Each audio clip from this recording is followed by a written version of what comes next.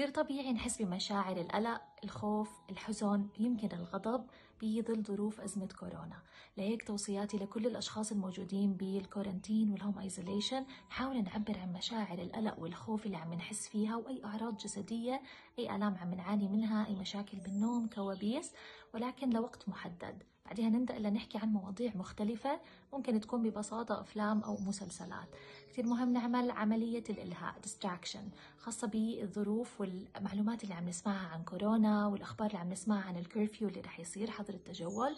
فمشان هيك كثير مهم نزيد من العناية بالذاتية بحالنا.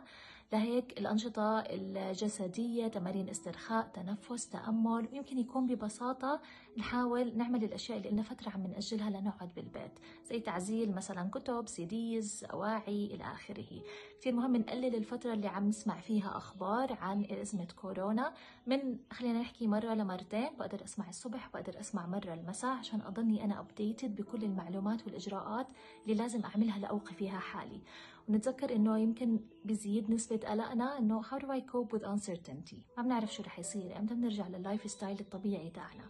لهيك ندعم بعض بهاي الفترة إشي كتير مهم بشتى الوسائل التواصل مسجات phone calls emails social media platforms ونتذكر إنه we're all in this together.